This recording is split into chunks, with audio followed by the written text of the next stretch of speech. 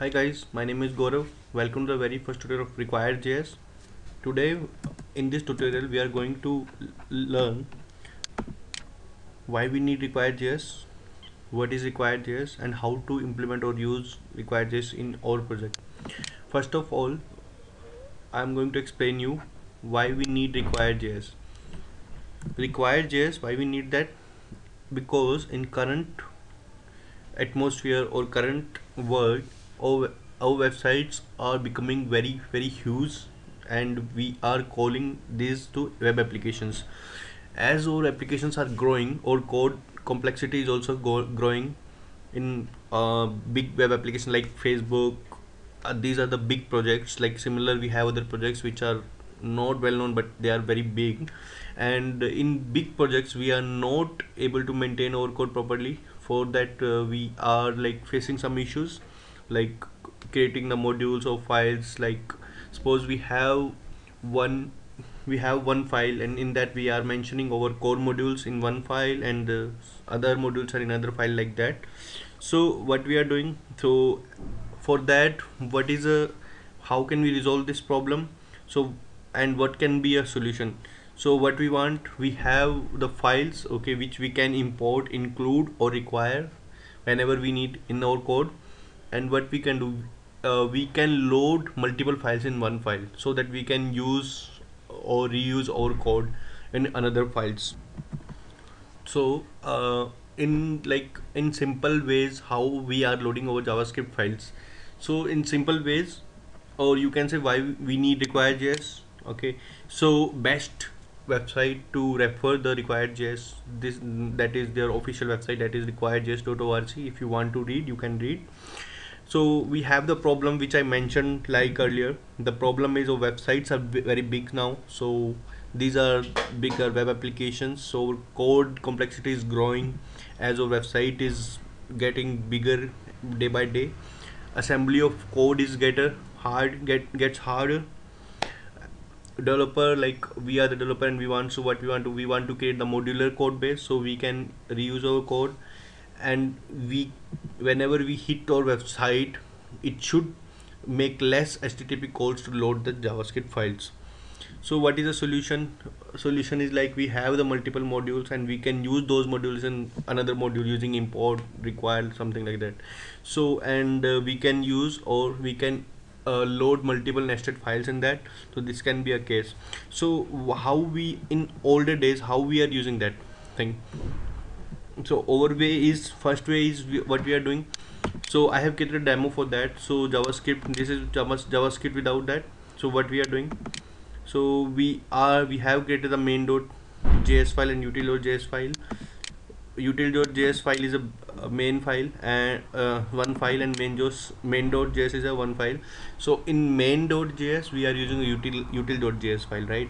So but what we have done here we have mentioned main.js file first and the util.js in second line.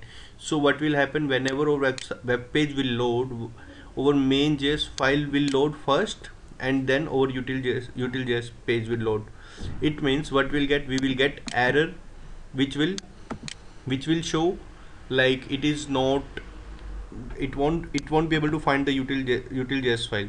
So I can show you that thing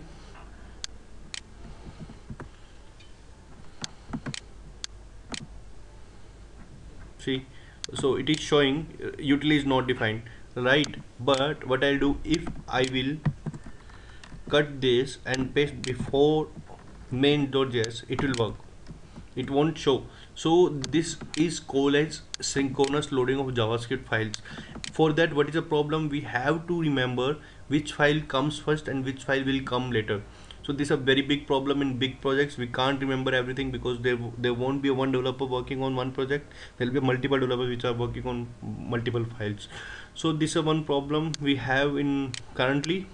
So one more way is is make the XHR request XHR request and uh, get the data and those data when whenever you will get those data that data will come in a string way whenever you mail HTTP request like xml http request it what it will do it will make the request and it will give you the data in string format right? So for that what you will do you will give the you you want to create a convert string to a javascript function, function executable code then you will use eval function.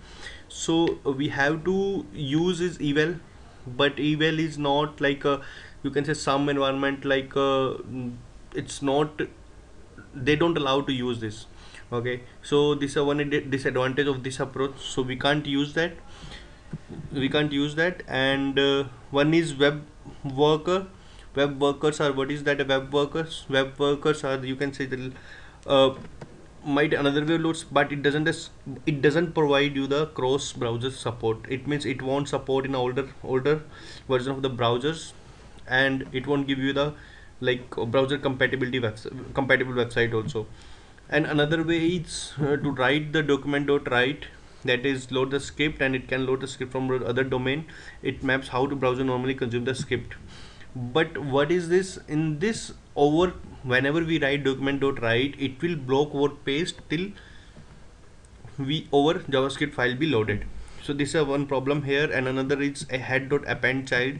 What we'll do we will uh, write over our append over skip tag and we will write the src and append to the overhead. But what's the problem in that? It it won't block page rendering but it so head dot append what it what it will it won't block the page rendering but there will be a issue with asynchronous synchronous synchronous example like you you won't be uh, sure like which file get loaded first and which file be getting uh, loaded later.